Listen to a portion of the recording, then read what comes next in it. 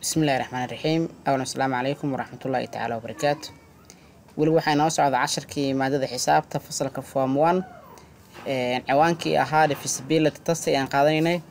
Hore waxaan u soo qaadanay two ilaa iyo waxaan soo qaadanay three. Maanta waxaan qaadanaynaa insha allah divisibility by four.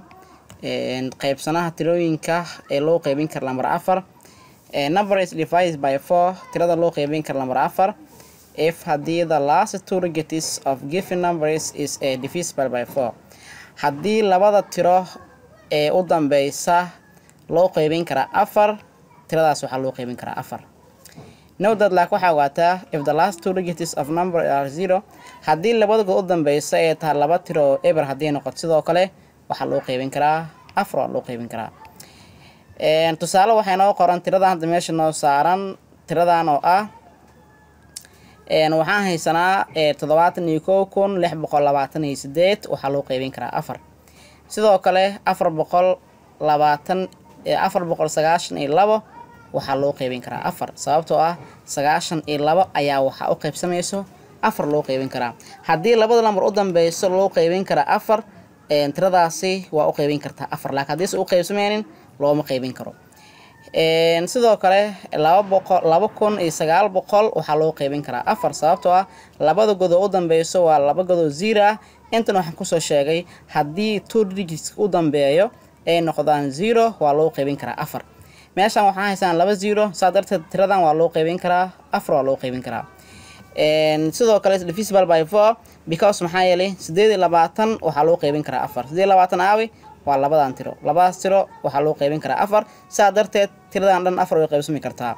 Si la mid a sagaashan iyo labo waa loo qeybin karaa afar. Tiradan dhan fiiri waxaa ku saaran meesha afar boqol sagaashan iyo labo. Labada god u dambeyso waa sagaashan iyo labo waa loo qeybin karaa afar. Si la mid ah marka dhammaantoodu waxay yihiin divisible by four afar waa loo qeybin karaa. Dhammaan inta meesha ku qoran. Divisibility by four waxaan galaynaa divisibility by six tirooyinka loo qeybin kara lix number is divisible by six tirooyinka loo qeybin kara lamber lix. If haddii it is a divisibility by both two and three haddii labo iyo saddexba u qeybsami karaan lixna waa loo qeybin karaa. Waxaa fiirinaysaa tirada kuu qoran haddii lagu qoro boqol soddon iyo sideed oo kale. Tiradan laba ma loo qeybin karaa haa lixna way u qeybsamaysaa. Saddex ma loo qeybin karaa haddii saddex loo qeybin karo si la mid ah way u qeybsamaysaa lix waa loo qeybin karaa. Haddii tiradan oo ah boqol soddon iyo sideed u qeybiya saddex waxaa soo bixi doonto afartan iyo waxaa soo bixaysa iyo lix. Si la mid ah boqol soddon iyo sideedna waa loo qeybin karaa lix. Haddii tirada meesha ku qoran loo qeybin kara saddex mase loo qeybin kara labo lix way u qeybsami kartaa. Tusaale waxaan haysanaa boqol soddon iyo sideed lix waa loo qeybin karaa labo way qeybsami kartaa saddexna way qeybsami kartaa. Saddex kun laba boqol afartan iyo lix waa la mid sidoo kale lix kun shan boqol konton iyo labo waa la mid marka dhammaan tirooyinkan dhan lix way u qeybsami karaan. Nowdlak waxaa ogaataa though the rule of for divisibility number by seven marka loo fiiriyo xeerka qeybsanaan tirooyinka lambar todobo existis waa mid jira. Its a big track waa mid markaas khiyaano aada u weyn ah and dividing directly waxaan toos loogu qeybin karaa oo keliya seven lambar todoba will p easier waxay noqon doontaa mid markaas fudud waxaan gudbayaa beejka labaatan iyo koowaad maadada xisaabta chapterka koowaad fasalka form one numbers and factories ayaan ku jirnaa weli. Waxaan idiin soo gudbinaya anigoo ah usaa cabdiwahaab divisibility by eight waxaan qaadanaynaa tirooyinka loo qeybin kara lambar sideed number is divisible by eight tirooyinka loo qeybin kara sideed if haddii the last three digits saddexda u dambeyso the given numbers is a divisible by eight. Haddii saddexda tiro u dambeyso loo qeybin kara sideed waa loo qeybin karaa si la mid ah sideed note that like waxay ogaataa if the last three digits of a number are zero si la mid ah haddii saddexda tiro ee u dambeyso ee tahay zero haddii noqoto oo kale si la mid ah waxaa loo qeybin karaa sideed tusaale waxaa lagu siiyey laba kun sagaal boqol sagaashan iyo labo. Saddexdan good u dambeyso sideed way u qeybsami karaan. Sidaa darteed tiradan waa loo qeybin karaa sideed sababtoo ah sagaal boqol sagaashan iyo labo is divisible by eight waa loo qeybin karaa sideed. Sidoo kale waxaan haysanaa saddex kun. Saddex kun haddii aan haysano saddexda god u dambeyso waa zero. Saanta ku soo sheegay markii hore haddii saddexda god u dambeyso zero noqdaan waxaa loo qeybin karaa sideed. Marka tiradana waxaa loo qeybin karaa sideed. Waxaan gudbayaa divisibility by nine tirooyinka loo qeybin karo sagaal. Number is divisible by nine tirooyinka loo qeybin karo sagaal. If haddii the sum of the digits haddii wadarta guud ee tirooyinka gododkaasi divisible by nine.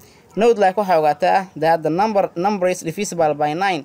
Tirooyinka loo qeybin kara sagaal are divisible by three. Saddexna loo qeybin karaa. Hadda waxaan haysanaa sagaal kun shan boqol konton iyo sagaal kun shan boqol lixdan iyo todobo is divisible by nine. Sagaal loo qeybin karaa. Isku dar tirooyinka marka. Wadartooda guud meeqa waaye. Wadartooda guud fiiri waa sagaal. Lagu daray shan waa toban iyo afar ku dar lix labaatan ku dar todoba toddoba labaatan. Toddoba iyo labaatan sagaal waa loo qeybin karaa saddexna waa loo qeybin karaa. Lambarkaana waxay tahay divisibility by ten.